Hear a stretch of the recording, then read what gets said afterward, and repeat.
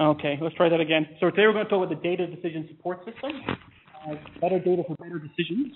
Um, so those of you who use uh, data from ROSI may, may be aware that certain times of year it actually runs a lot slower than on ordinarily.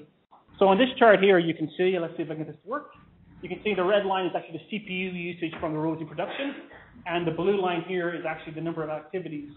So you can see around the start of September every year, there's a massive surge of usage, and that's from two places. One is from the students, and then one is from the administrators at the university who are trying to, while the students are logging in, they're also trying to get data out the back um, of the um, database at the same time, and that slows down the performance for both the students and both and the administrators.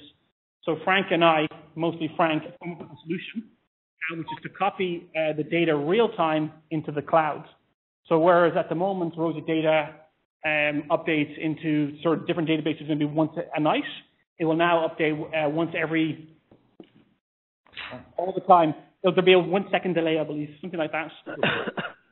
so you'll have access to real-time data. It'll be up 99.7% of the time, and it will be copied into the cloud using a software called Attunity Replicate. The second part of this, which I hope you're interested in, is that the data will be completely secure in the cloud. It'll be stored in Microsoft's uh, data center on Front Street, so it'll be staying within Canada, and its backup site is in uh, Quebec City. Uh, and uh, you need to go on uh, or we might have to end the um, um, the remote because people are making a lot of noise. So the data uh, is secure. It's encrypted when it's transferred from the Microsoft Center to the campus. It's encrypted, and it's also encrypted at rest when it's stored in the Microsoft Center, which I think currently ROSI production is not encrypted at rest. So that's a big improvement in the encryption. And then the last piece is when I refer back to the original problem, I mentioned that the system tends to run slower the more people are using it. So when you need it the most is when it's harder to use. Because it's in the cloud, we will be able to scale up the, the, the processing capacity as and when we need it. So if everyone in this room decides to access it at the same time, it will simply uh, allow more and more CPU to be put behind the queries. So actually, when it's busier, it'll run faster, whereas right now, when it's busier, it'll run slower. So the three main groups who benefit, of course, number one is the students. So because all the administrators will no longer be using the system, they'll have a more seamless experience as they won't be sharing resources with the administrators. The second group is Rocket Shuttle users. Anyone here use Rocket Shuttle? Show of hands. So no one. Okay. we'll skip the Rocket Shuttle section of the presentation. So you guys will be able to get your queries to run faster. You'll also get access to more fresh data because it'll be updated more regularly. And also, you will get access to a ton of extra tools that you can use to analyze data that we're going to talk about a little bit later on. then the third piece is, of course, divisional leadership. They will have access to higher quality data as it'll be more, uh, concur- more current, and they'll also have access to a system which has a higher level of data security. Uh, there's three additional benefits that we wanted to talk about. Uh, the first one, divisional data stores, we're going to talk about a little bit more detail in the presentation. So I'm going to skip over that for the moment. But the other two is this ROSI data forms part of what we're calling the NGSIS data lake.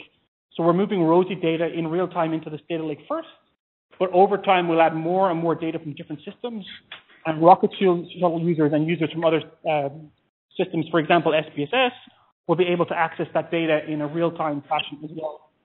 And then the third component is that we're also going to start to um, enable uh, data science virtual machines to connect to this data store. So you'll be able to access analytical tools like Tableau, statistical analysis packages like R, or if any of you is um, using Python or different machine learning platforms, they're all included and there's no charge for them. They're all free. So you simply turn on a virtual machine, you assign how much RAM you want, how much processing power, and you do all of your analysis, and it connects direct to the data lake, and when you're finished, you can just close the thing off.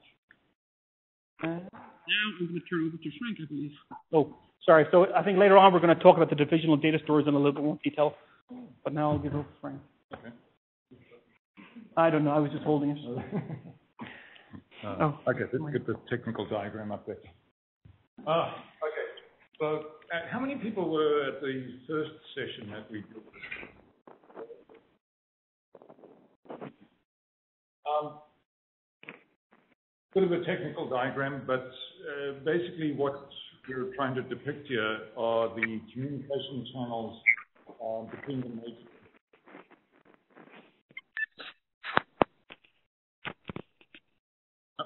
somebody needs to put their phone on mute again. Uh, thanks. The, secret key here really is this connection between these two dotted uh. That's what they refer to as a site-to-site VPN. That sounds like a cookie monster. um, and Sorry, can everyone on the line go on mute, please? um, so what we've done here is established a secure connection between the university networks uh, and the Microsoft networks. Um,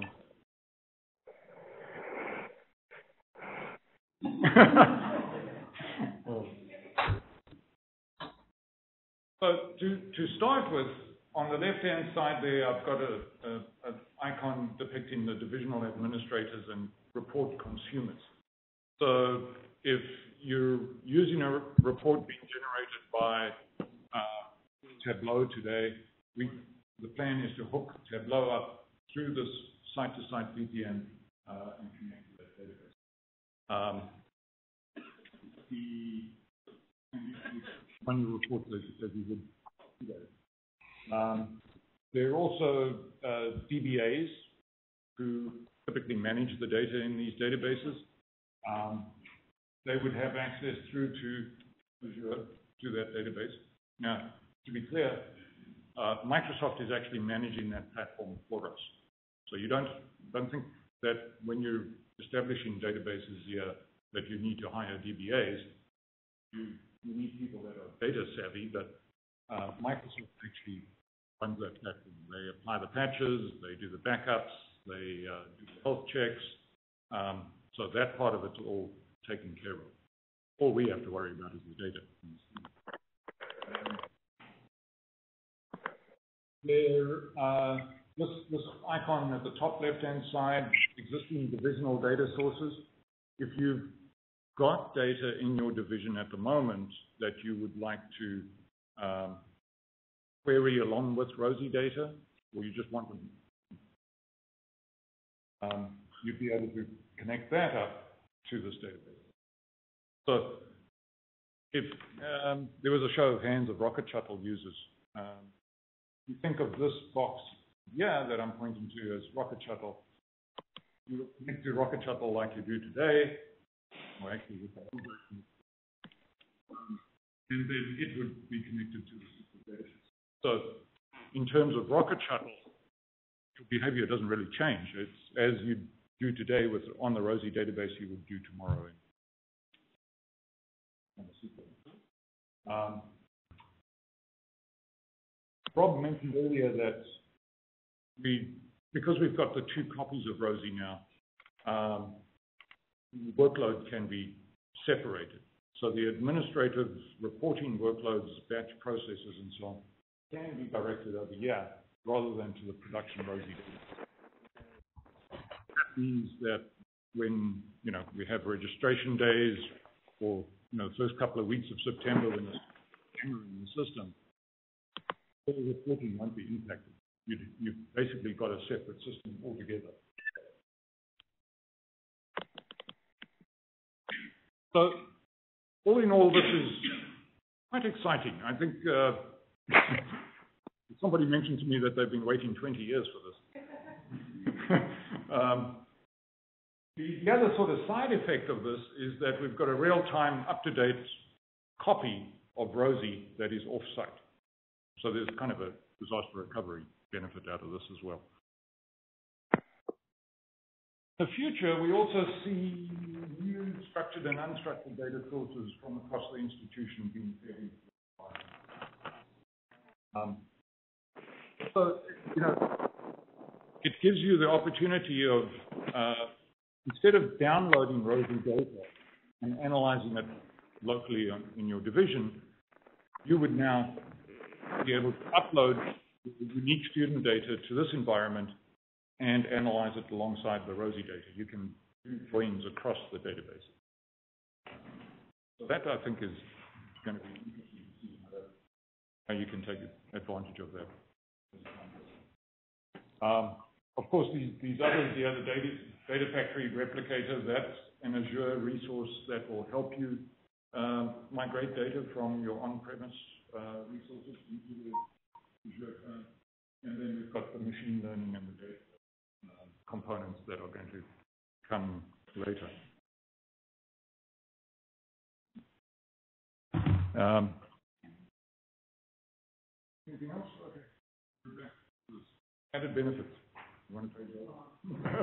I think this is just, uh, I'll just uh, go through a little bit more about what Frank said about the divisional data stores, and then Brenda's going to do a um, quick demo to show you some of the uh, portal. Um, so as I mentioned, next slide. Uh, so the, as Frank mentioned, for the divisional data stores, one of the advantages is going to be the ability to do uh, a cross join. So you'll have what's access to a called a SQL managed instance. So right now, I'd say a lot of you are taking data out of ROSI. You're then manipulating the data and putting it into your own database in order to join it to your data. Does that sound familiar to a lot of people? Yeah. Uh, what will happen now is you can actually keep your data in its current format, and you can put it side by side with the institutional, the ROSI data, and you can do a cross database join on both data sets without having to copy one into the other environment. They can just be joined across. Uh, so that's one advantage. Uh, the second one, I think, is um, next slide. Um, database as a service.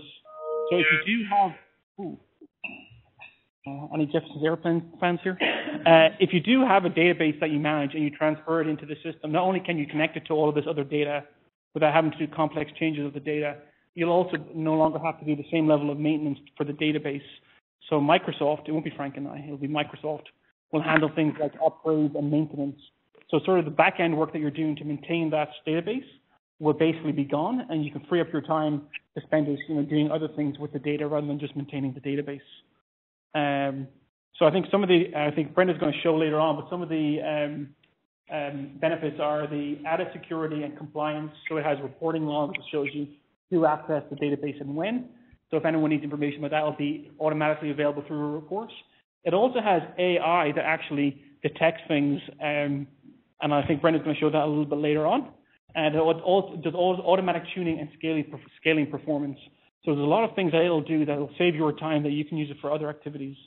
Um, then the third piece, just to go in a little bit more detail, is advanced security. I know this is a, a really um, um, a topic where there's a lot of focus at the moment.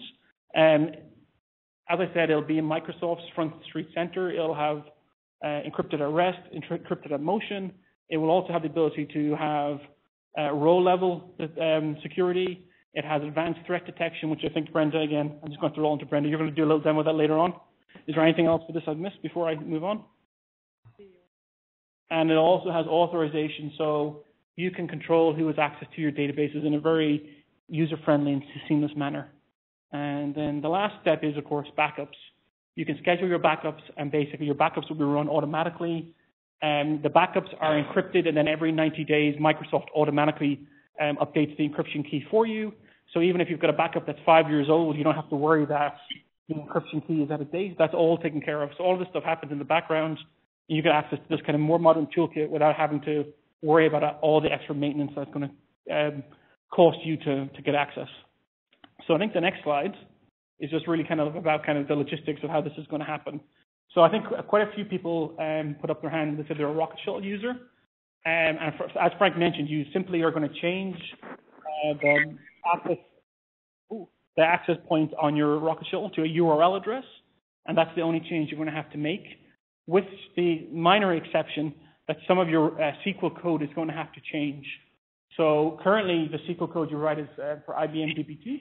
You'll have to modify that to work for uh, SQL. So Brenda is going to show you again uh, a demo of how to convert that code. But basically, it involves copying and pasting.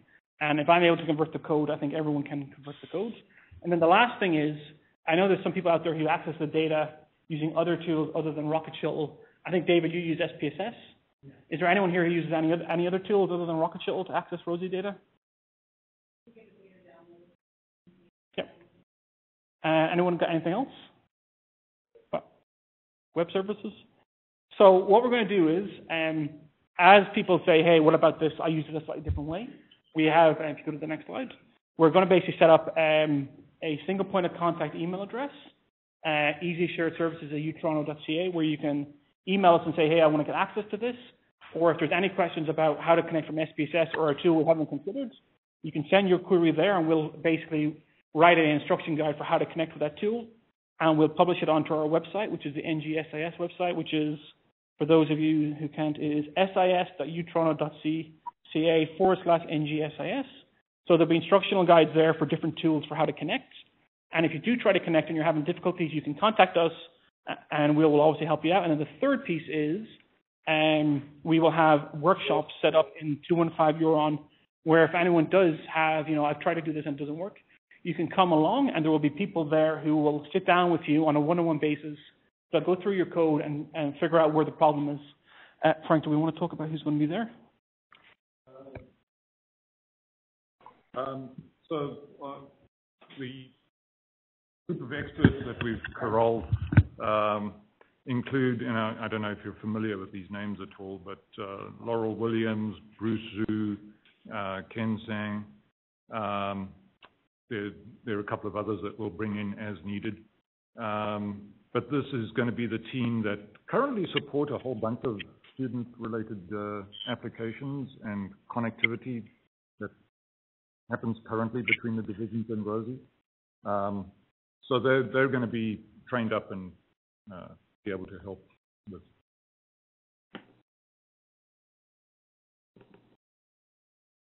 So I think the next slide, if we can go to that, is demo. So first, we're going to show you how to do the SQL conversion. And we're going to have question, time for questions at the end as well. So, um, so imagine you have your SQL. Oh, we can't see your screen. Drag it over the bear with us. Can I take over?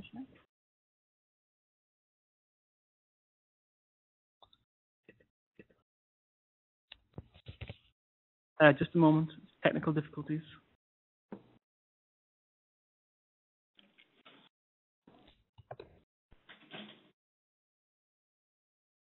Open.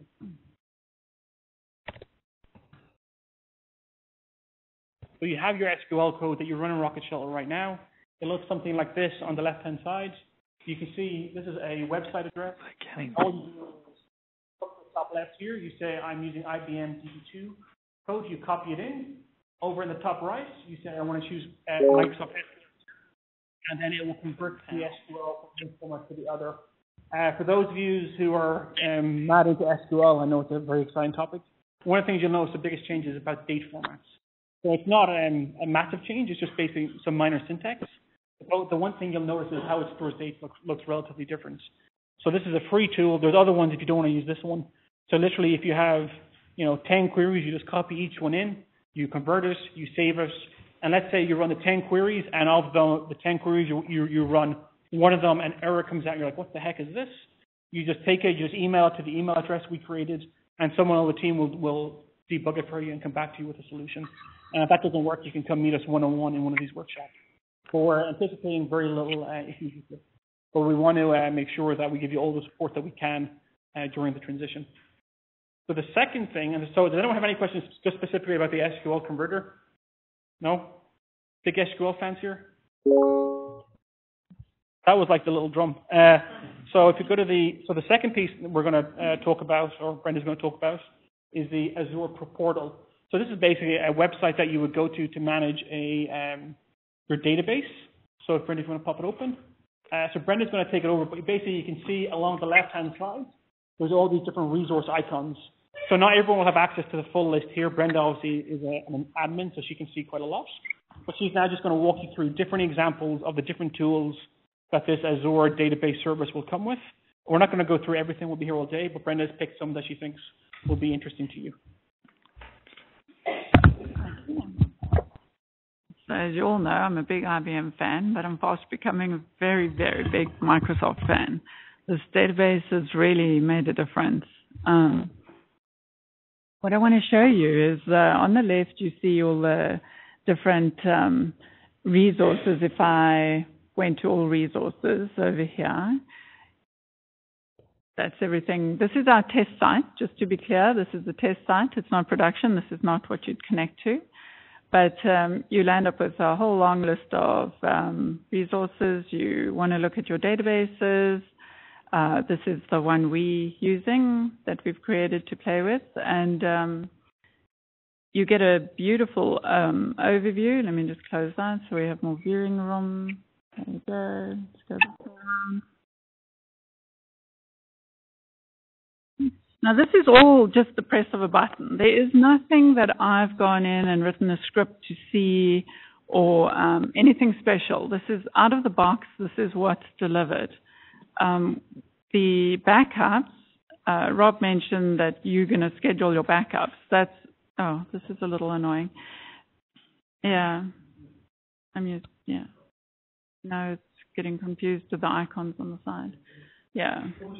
Anyway, uh, you have to use it. Hold on, let me just. I think we'll do that. That's better. Thank you. Okay, so now let's make. okay. I don't know why I can't get up there now. Anyway, the missing scroll bar. Anyway, I wanted to show you that we. Uh, actually, I'm going to go back if you don't mind. Start again I think we can, I really do want to show you. The backups are automatic. There is nothing you have to do to do a backup. The backups run in the background. They're automatic. When you create a database, the first thing it's going to do is run a backup.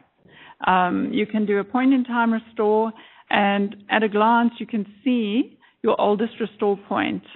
So whatever the overarching restore retention period is set to, that's what will be reflected here. The other thing that is um, of interest is at a glance on this uh, screen, you can see your automatic threat detection, which is automatically enabled. It's been set up to include that. So if you look at this, you can see there's been one alert for this database. You can also see your data storage. Obviously, it's very little, and you can see the resource utilization which, you know, obviously is very low, but nevertheless, um, if I went to show you a few more days, you'd see a little more. The other thing that uh, I really do like is the connection strings are just at the push of a button. There's your connection strings all delivered to you, depending on how you want to access the database. You you'll be given the client that you need for the OWC driver uh, as you can see, I download it and make it available. So that's all pretty um, seamless. There's, uh, I haven't had any issues working with that. The threat detection is, uh, from a security point of view, I could go at it this way. I could also go through the security bar on the left, which will show me my uh, security information. So the part that is interesting. It does, it will actually show you any columns that might contain data that should be masked. So it'll actually run, does this automatically, and it makes suggestions. It thinks this should be masked. Whether you want to implement that or not is up to you. There's nothing, but it's nice to know that you might have a column that you need to think twice about in your in your database. I haven't switched this on in, in this particular database. The threat detection, as you can see, you can see uh, we've had a um, an issue. So I wanted to show you, I think this is a huge value add for us.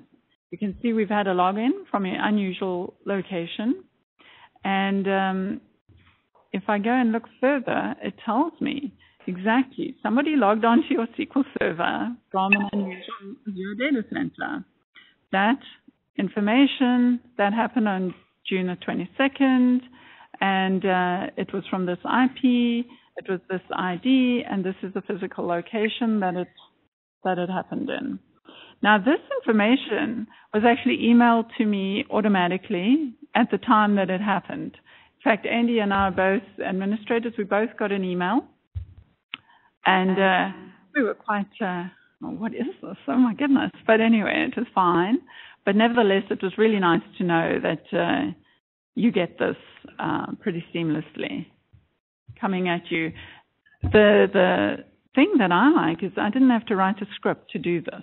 It, it did it automatically with the one slider. Threat detection's turned on. This is what you get for that. Um, the database, the production database, obviously will include that feature. So I haven't got my email alert up, but uh, it tells you from Azure. Um, I wanted to show you, this is the dynamic data masking that I was uh, talking about earlier. So if you look at this, you can see the column name, it's first name, last name, email. You can decide whether you want to add a mask or not. You can go in and do it yourself. Um, so you have options around that. Then there's the transparent data encryption, which you can see is on. Now, for the database that we're implementing in production, the encryption is at rest, in transit, and it actually is also encrypted during query processing. It only decrypts data that is returning to the user, which will be encrypted back over the VPN. So there really is very uh, small amounts of data that are not encrypted at any point um, during the process. So the next thing that I want to move to is uh, performance. The the different dashboards that you've got um, from a performance point of view. So automatic tuning on these databases is, kind of, is quite interesting. Um, you've got, as you can see, we've had two out of three automatic tuning um, recommendations actually enabled. So these databases will have automatic tuning enabled.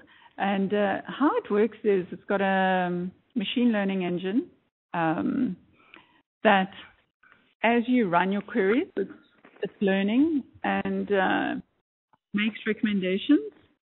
It'll apply the recommendation. But being a DBA, I'm, what are you doing there? And uh, not so sure about that. I like to do it myself. I like to have more visibility. But in this case, it actually will apply it, and then if it carries on monitoring, and if it decides that what it's decided to apply is actually not good, it reverses it and will try again. So um, from that point of view, it's a huge time saver because we all know tuning a database takes a lot of time and effort. Um, so that is for for for for me, that's a big value add. The uh, queries that you run you have this query performance insight uh, that you can look at. And uh, you can see, you can look at it, CPU, data, log IO, different parts to, I was doing a few queries this morning just to show you what it might look like. You have a few options. You can look at resource consuming queries. You can look at long running queries. It'll show you your breakdown, color coded. I mean, it really couldn't be any easier. And um, I will, yes, his will be flashing red. yes, you can detect your own. so, uh, but also the automatic tuning will help um, in that case. I'm actually hoping not to see too many uh, that are really an issue, but we we we will monitor to check for scaling the actual resources up as a whole. Then, if you click on this query, which is aggregated, uh, you can what? Okay. Oh, okay. Um, you can see that it shows you the query text. If you have a, a really large query, it'll break it out here, and I have a few that you know will scroll down over many pages, and it breaks down the uh, resources that query is using. It also tells you when it was run um, and for how long. So obviously on a busier database, which it will become, you will have a lot more to look at than I can show you today.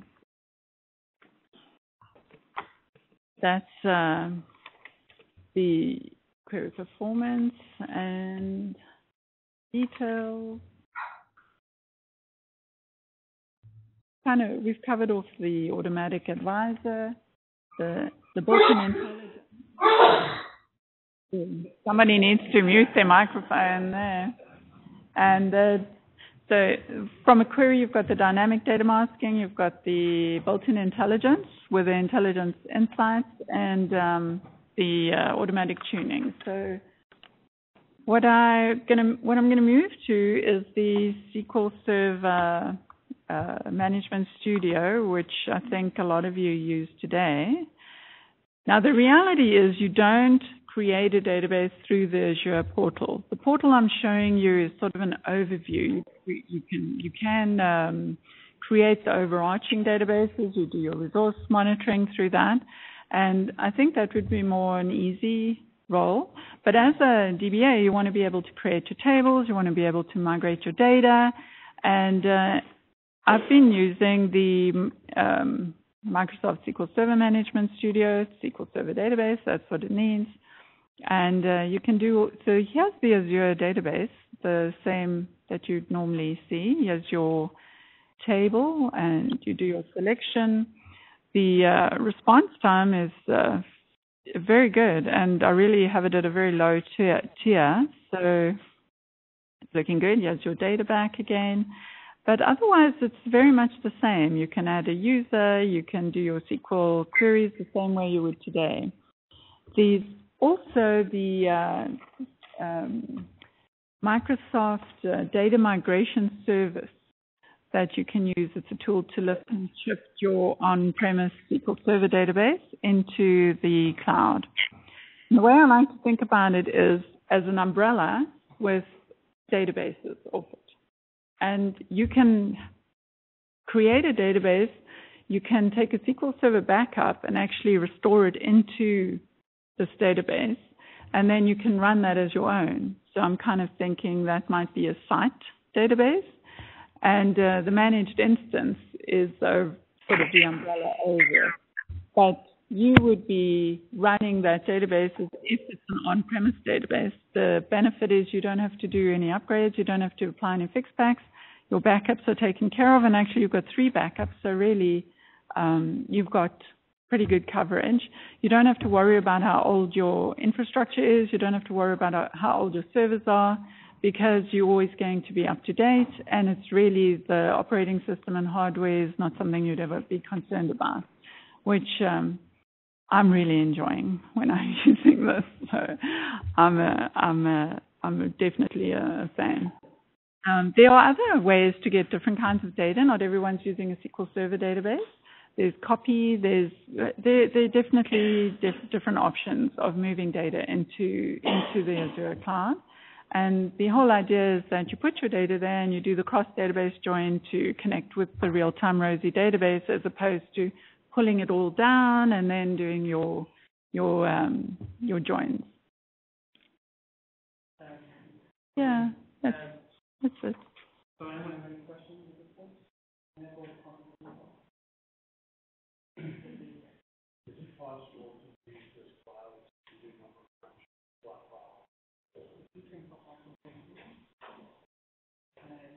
So yeah, so uh, so we are going to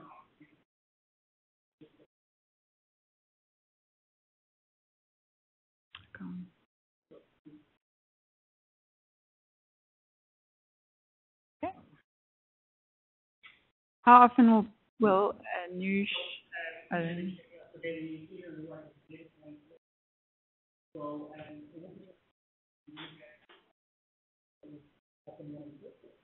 uh, so, uh, but once it's turned on, we will be able to, to go and the only thing also this month uh,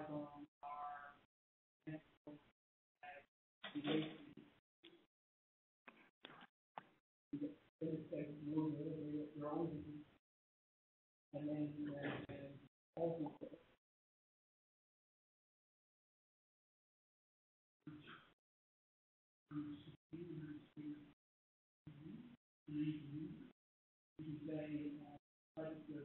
Sorry.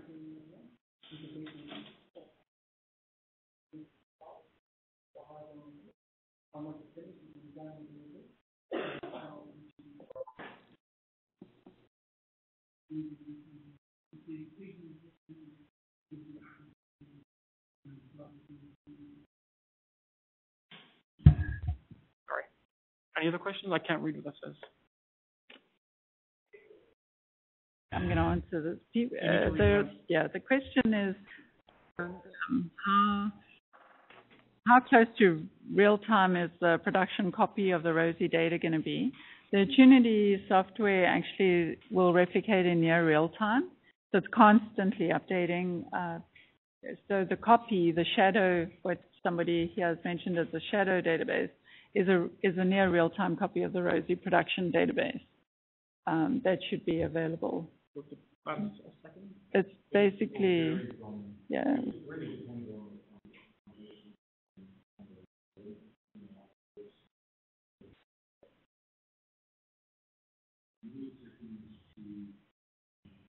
At night when the batch programs are running and there are millions of records being updated, there might be a lag of a minute or two. It's pretty much near instantaneous. As soon as something changes on the ROSI production database, Attunity picks it up and fires it off to. With the modern networks that we have today, um, the speed is becoming less and less of an issue. The uh, network bandwidth that we've got between our networks and Microsoft is currently rated, I think I was told, 1.4 gigabits per second. Isn't too shabby. Really well. Does anyone else have any other questions? Oh, Sure. sorry. Kind of related to that, on, on, on, great for SQL carriers to have an extra, extra database to be attached to the administrative level. But if this real-time links, they're gonna be back, you know, either they, not be effective. It should be good enough. Um, and we, we, we can extend it if we need to.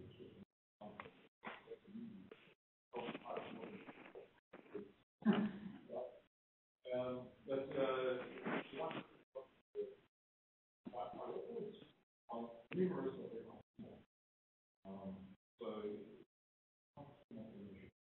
um, I mean, if you think about it, the uh, and the backend database is one gigabit per second. That performs sufficiently. Um, so this is 1.4.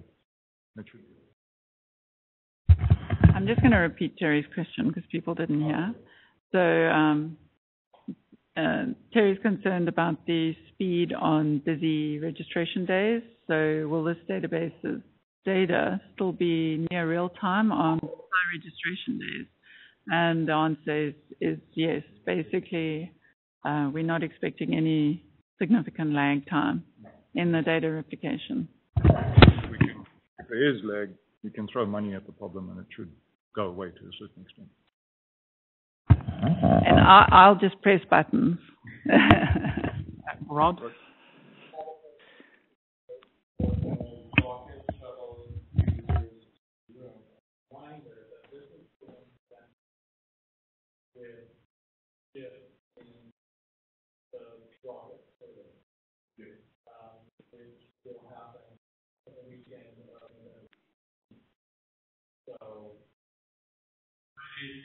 November sixteenth, we'll be using the rocket shuttle client.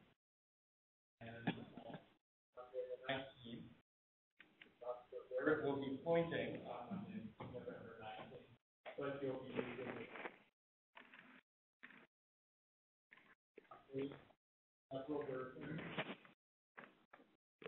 The services is preparing rocket for existing rocket shuttle users to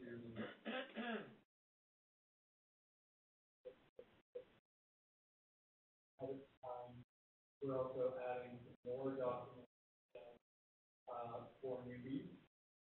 Um, and we're hoping to put up some of the dialogue uh, between DB2, SQL, and Microsoft SQL, everything, uh, or new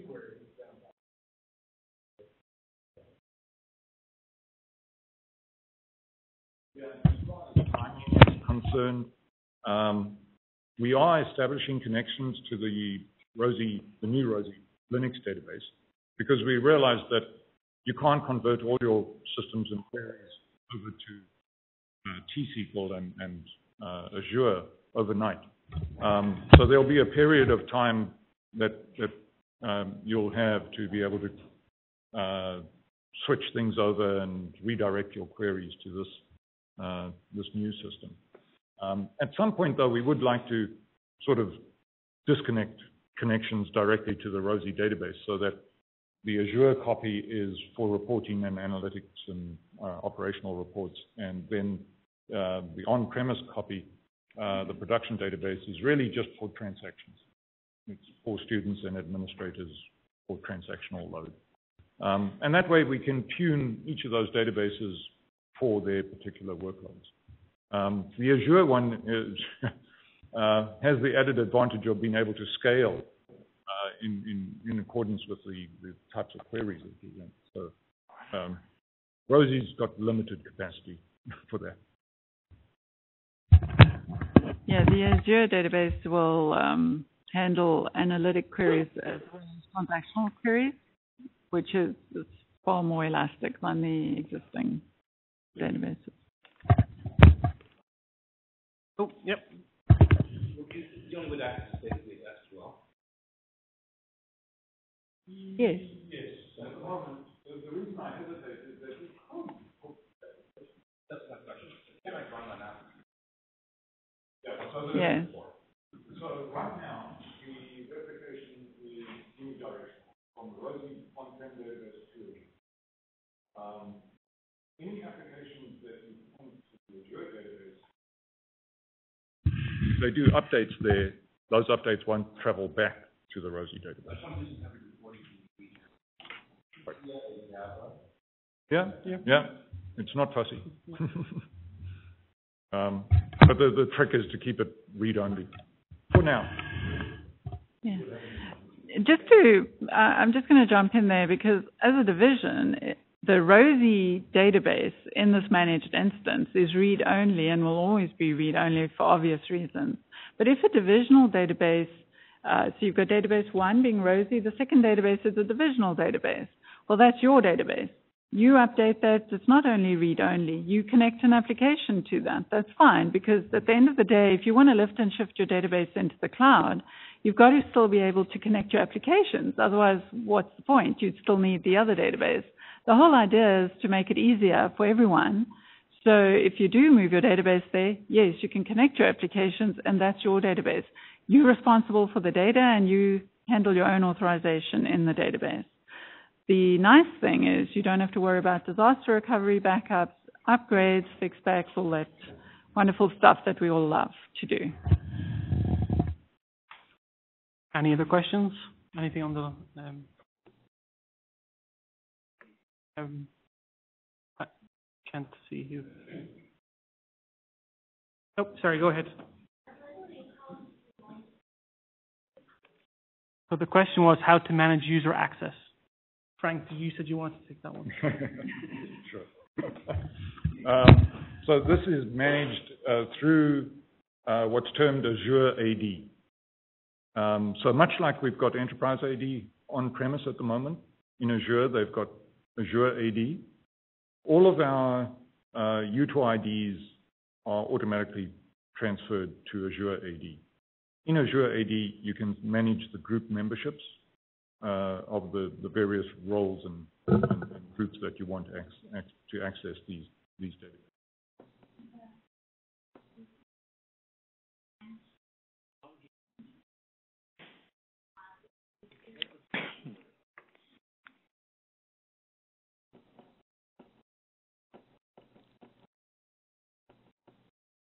Right now, from uh, EASI's perspective, the uh, user management follows what we're doing for ROSI today. Um, so there are uh, forms, unfortunately paper-based, that, that get filled out, um, although there is a PDF now. Um, and there's a process associated with that that gets acted upon by, Easy staff. And we just see this as sort of an adjunct to uh, that provisioning. So if a user has access to particular data in ROSI today, they'd have that same access to the ROSI data in Azure. Um, for the divisional databases that get set up, they will have their own user administrator um, that would act on, uh, Azure AD. So they're responsible for that. They're in the best position to know who should have access. So you very nicely said, oh, you'll have your own user list. That's not the way it is up uh, today. It's just one from each institution. Right, right. Oh, okay. So there's a bit of a difference there, Dan. I mean, you you have it. Um, what's the word I'm looking for? System administrators for the subscription level and the provisioning of the resources. Um, but then after that, for the user administration, um, that that's a different layer altogether. So you can assign somebody that will have access rights to administering user groups in Azure AD. Um, we're we're working uh, through this with uh, uh, ISEA at the moment. I mean, much like managing uh, groups today through Open LDAP and Grouper and that sort of thing, we want that same kind of capability in Azure AD. Microsoft offers tools, but it's it's means we've got two sets of tools essentially for Right.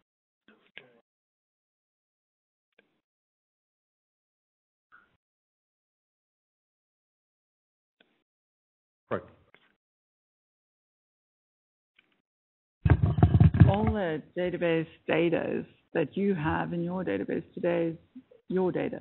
We don't have any knowledge or vision into your data, and I don't see how or why that's changed.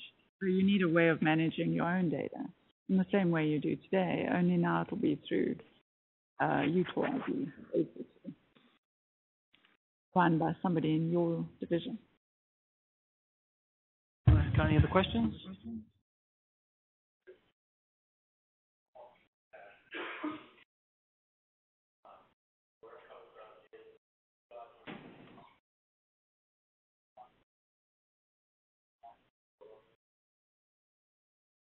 You just have to read the question back. Right. So the, the question is, does the Attunity data replicator impose any load on the ROSI production database, um, particularly uh, during busy days? There is a slight increase in load. It's, kind of equivalent to a, monitoring system. So it varies between 3 and 5%. Um, but uh, we've been assured by uh, Attunity, and based on the number of customers they have, I don't think this is going to be a major uh, consideration, particularly when you consider that we're shifting about 30 to 40% of the workload off. So at the end of the day, I think we're going to be ahead. The thing is it doesn't actually read the data, it's using the log. It's using the logs to replicate the data. So there's no actual read against the table. Um, anyone have any other questions?